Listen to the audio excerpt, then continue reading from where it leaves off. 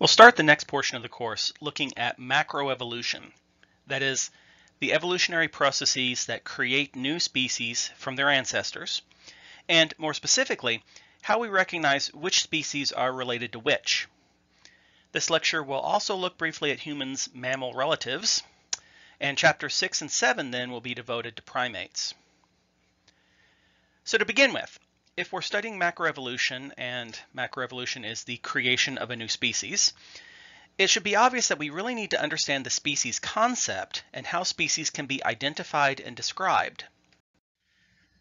The first thing we need to cover then is biological classification. Classification, of course, is just the process of putting things into classes. Taxonomy is the branch of science concerned with the rules of classifying organisms on the basis of evolutionary relationships. To put it another way, taxonomy is the study of how to do classification of living things in the best, most useful way. We can't tell if new species have appeared unless we can list out the species both before and after and see that those lists are different. To do that, we need to be able to classify individual animals into species. Traditionally, those categories have been based on the physical similarities between different animals. Linnaeus was the first person to really systematize the process, and he introduced the idea that categories should be hierarchically nested. Small categories contain a few species that are very similar to one another, and those are then lumped into larger categories that contain more species but with more differences from one another. Linnaeus based the larger and smaller categories of his system on homologies, similarities between organisms based on descent from a common ancestor. This image is a classic way of describing homology. It shows the skeletal structure of several vertebrates' forelimbs. You'll notice that, despite the differences in shape and size, the numbers of bones and how they articulate with one another are very similar. This is because all of the species inherited that structure from their common ancestor, the so-called stem reptile. We specify that homologies exist because of common descent to distinguish them from another kind of similarity, analogies, or similarities between organisms based strictly on common function with no assumed common evolutionary descent. Natural selection adapts species to their natural environments so sometimes species in similar environments evolve similar traits, even though their common ancestor lacked those traits. This process is called homoplasy, or convergent evolution. Homoplasy is the process that creates analogy, the result. The difference between homologies and analogies was one that Linnaeus did not understand because he didn't understand evolution. So some of the categories he constructed based on certain analogical traits turned out not to make any sense. For example, he originally classified whales as fish because of the analogy that they lived in the ocean. Very quickly, however, he realized the problem with that, since whales have more similarities with mammals than with fish. So in the second edition of his book, whales were classed as mammals, where they remain today. This highlights another basic requirement of modern biological taxonomy. It must construct categories of species that reflect evolutionary relationships. Larger categories include all species descended from more distant ancestors, while smaller categories include only those species descended from more recent common ancestors.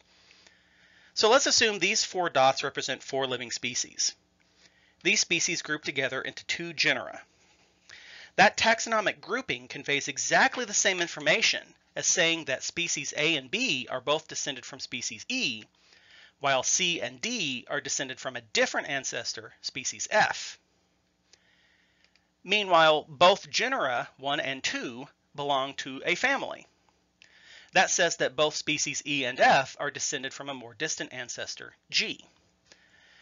Therefore, with a properly constructed biological taxonomy, you can easily tell how recently two species shared a common ancestor by finding the smallest category to which they both belong. The smaller the category, the more recent the common ancestry. But how do you begin constructing those categories in the first place? How did I know to put A and B in genus 1, but to put C in a different genus? It can't be because I already knew their ancestry because the main reason to study taxonomy is to learn the ancestry.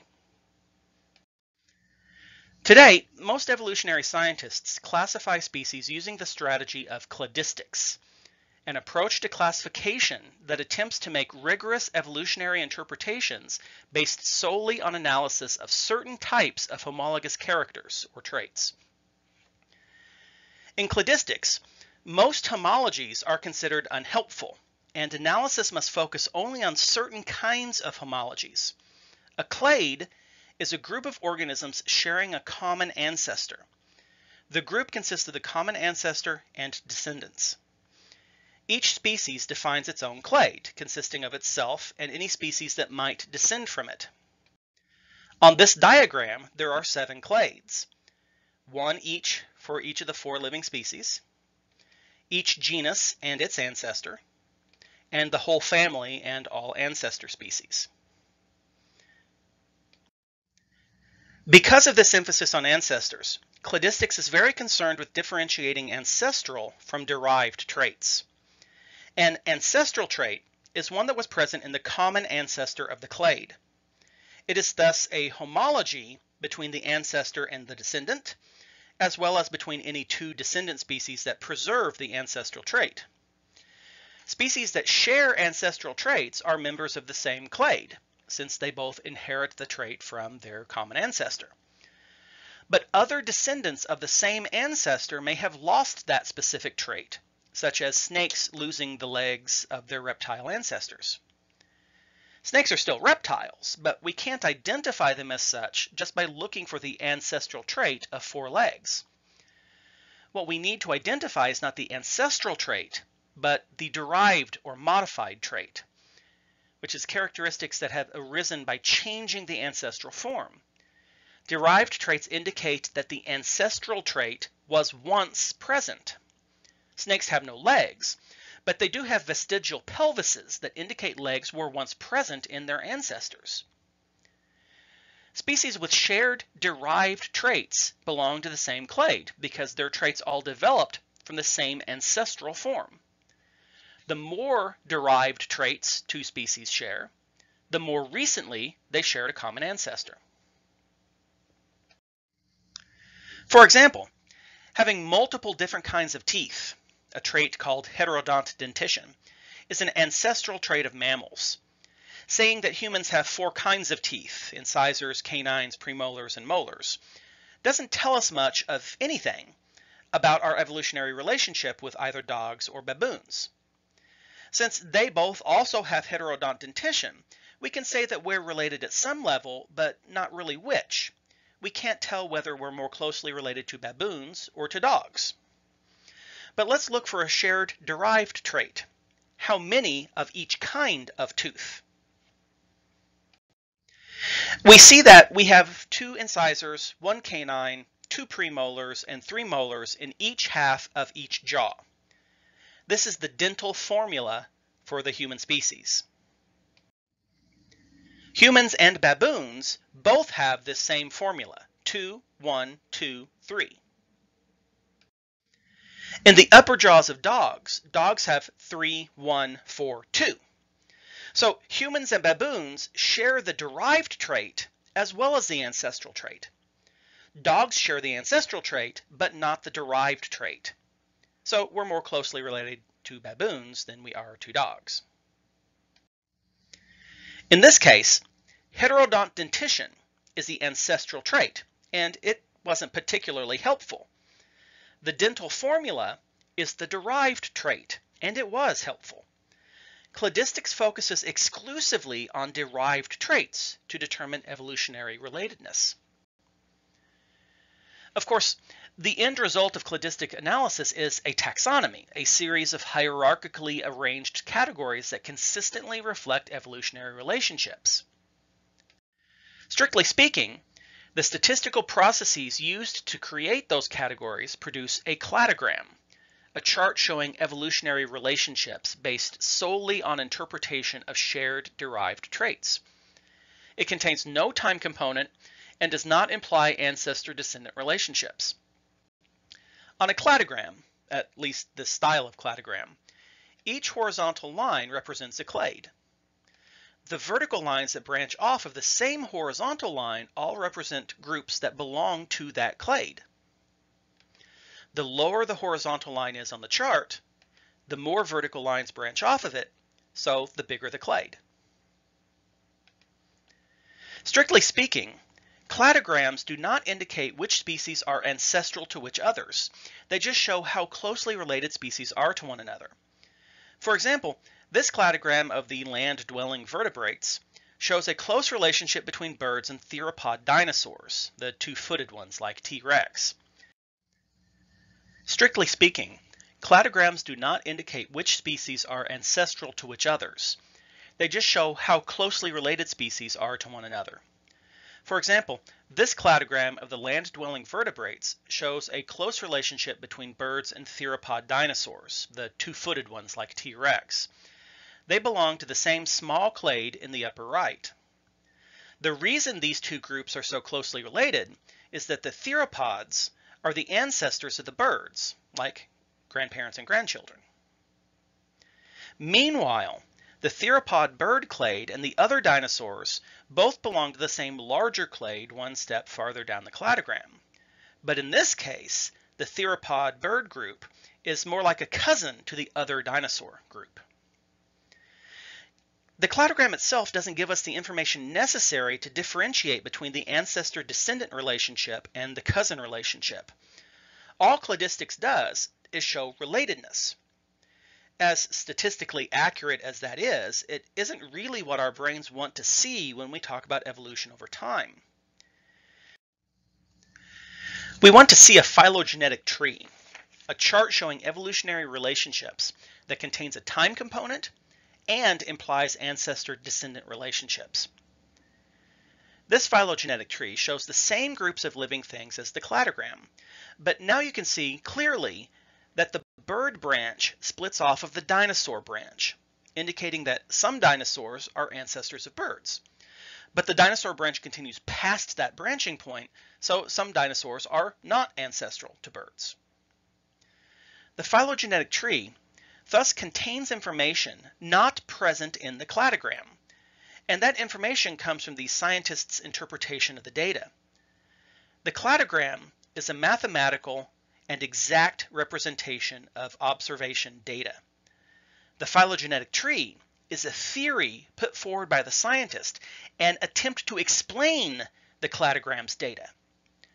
Different scientists can look at the same cladogram and construct different phylogenetic trees then the next step is to seek more data to test those theories.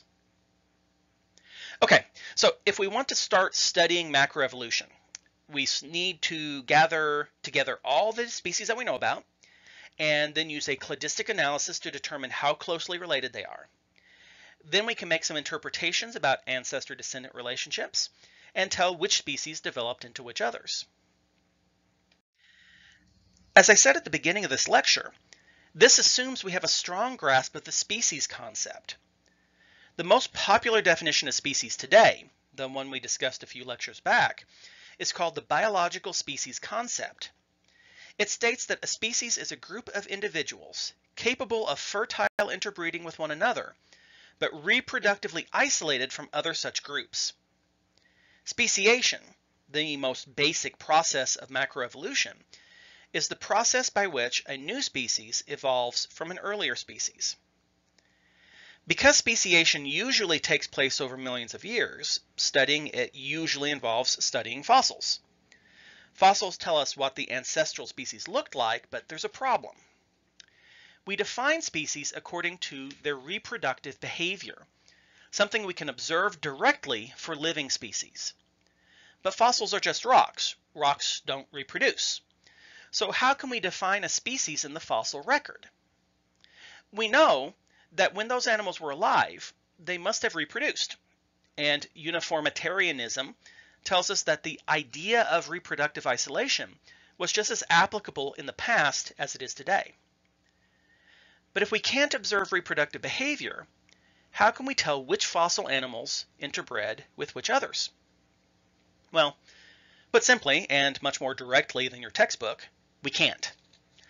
fossil species are not biological species at all, really. They're paleospecies, species defined from fossil evidence and inferred to be reproductively isolated.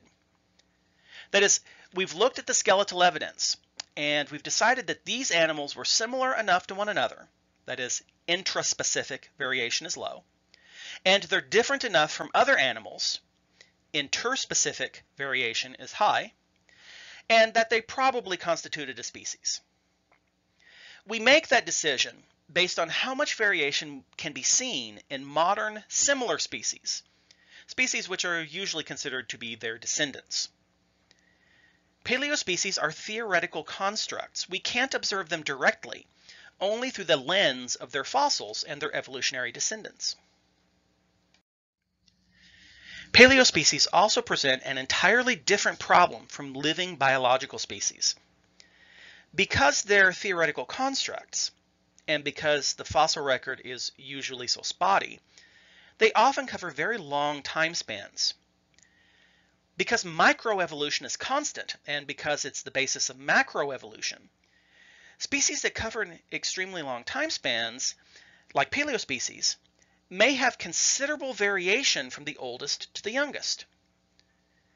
For example, the longest lived human ancestor was Homo erectus, who, by some accounts, was present on the Earth for about 1.5 million years. Could an early Homo erectus, around 1.8 million years ago, interbreed with one of the latest Homo erectus, around 400,000 years ago? They were biologically similar, but certainly they were much more different from one another than any two living human beings are today.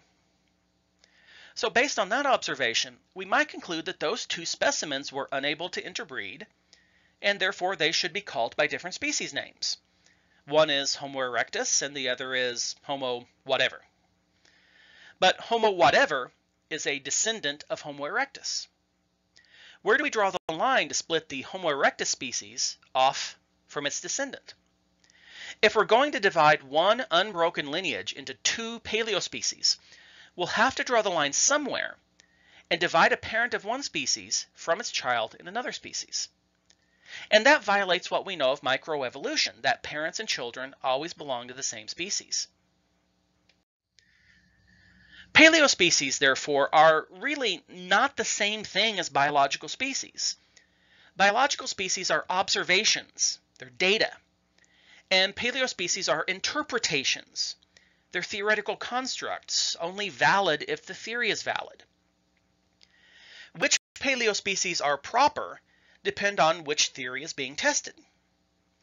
Different scholars with different research questions will assign different paleospecies names to the same fossils. The particular labels are only useful as long as they're useful. If you get too caught up in deciding which species label to slap on a particular fossil, you'll likely miss other more important issues. Keep that in mind as we wade through dozens of hominin species names over the next couple weeks. Okay, let's look at a couple patterns we see when we study macroevolution. One of the most recognizable is called an adaptive radiation, the relatively rapid expansion and diversification of life forms when they move into new ecological niches. This is when one ancestral species suddenly evolves into many descendants, all with different traits. When you create a phylogenetic tree of this process, you see one trunk split into many branches, with the branches radiating in all directions. It's a common pattern in the history of life on Earth. Mammals underwent an adaptive radiation after the extinction of most dinosaur species 65 million years ago. And hominins went through an adaptive radiation about 3 million years ago, which is why there will be so many species names to learn over the next few chapters. But it's important to understand that radiations occur throughout the living world. Understanding adaptive radiation requires understanding generalized and specialized traits. Some animals are generalized. They're adapted to be able to perform a wide variety of tasks and to change their behavior in response to the environment, but they may not be particularly efficient at what they do. Specialized species follow the opposite strategy. They're adapted to do only a few things, but they do them very, very well. Usually, only generalized species are able to take full advantage of new niches because they are able to change to fit the new environment. Thus, the ancestral species of an adaptive radiation is almost always more generalized, and its descendants are more specialized. Also, there's the question of the rate at which macroevolutionary changes occur. Darwin saw evolutionary change as slow, steady, and incremental. The rate of change did not change. This view is called gradualism and was the common view of most scientists throughout much of the 20th century. It views macroevolution similarly to the tortoise in the tortoise and the hare. Once the race starts, the tortoise moves along slow and steady from the start line to the finish line. But since the 1970s, many scholars have come to the conclusion that the pace of evolutionary change is not steady. The rate of change, in fact, changes. There are long periods of stability, or equilibrium, broken up, or punctuated, by relatively short periods of rapid evolutionary change. This view is called punctuated equilibrium. This views macroevolution like the hare. Once the race starts, he shoots off very quickly, then stops and takes a rest, then shoots off very fast again, then pauses until he reaches the finish line. The different interpretations have some significant effects on how scholars connect species through time. If fossil 2 is a descendant of fossil 1, a gradualist would describe the evolutionary path between them with a straight line. Punctuated equilibrium would describe the path with some kind of curve.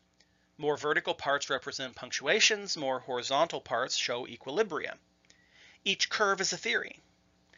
The only way to distinguish between these different theories is to find more fossils that fall between 1 and 2 and see where along which curve they fall. The final thing I'd like to look at is a quick overview of the mammals to set us up for the next section of the course where we'll be studying primates. Mammals have evolved over many millions of years and they've really flourished and diversified in the last 65 million years.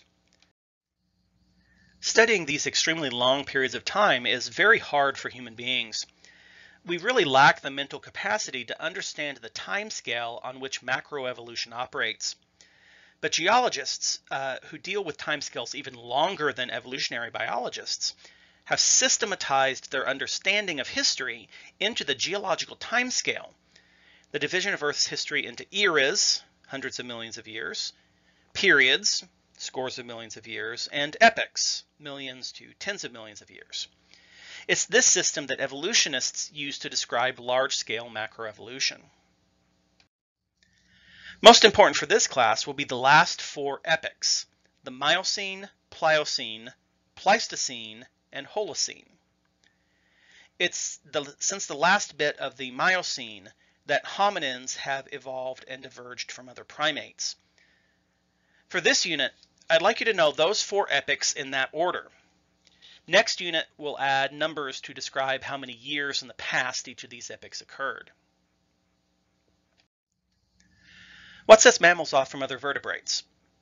In general, mammals are selected for larger brains when compared to body size, a statistic called encephalization.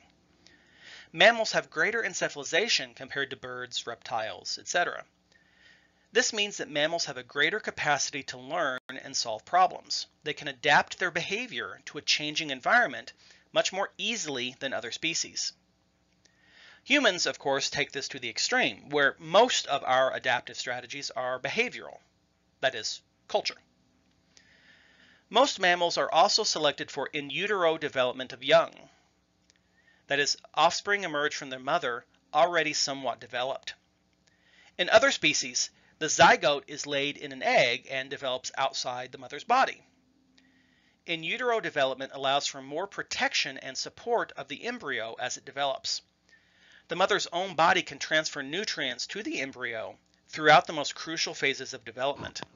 So while encephalization allows adult individuals to solve problems and survive longer, this trait promotes successful reproduction.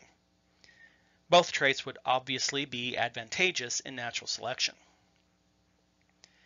Mammals also have heterodont dentition, which we've already touched on. This allows most mammals to eat a wide variety of foods, another advantageous trait for the ancestral mammal trying to expand into dinosaurs' niches. The last characteristic mammalian trait your textbook mentions is shared with birds and probably some dinosaurs endothermy, or warm bloodedness. The ability to maintain internal body temperature by producing energy through metabolic processes within cells. This allows mammals to exist in a variety of environments. In cold environments, the body stays warm, and in warm environments, the body cools itself.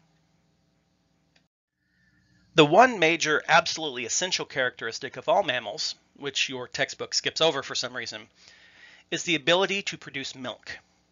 The words mammal and mammary share the same root. All mammal mothers produce milk to feed their offspring for a period of time after birth.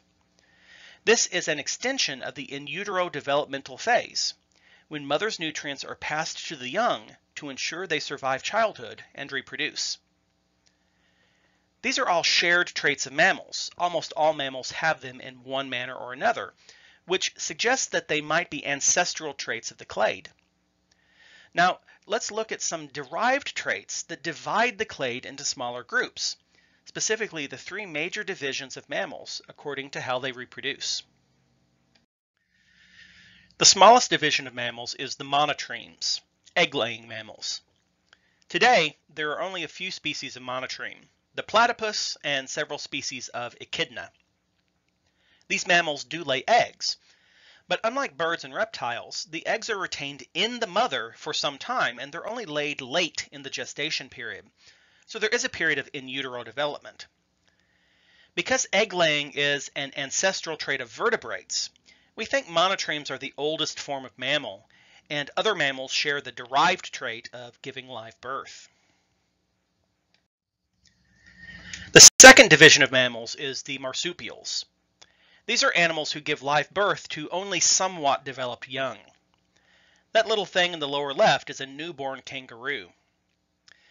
The young then instinctively crawl into a pouch on the mother, where, still technically outside the mother's body, they will continue to develop for some time.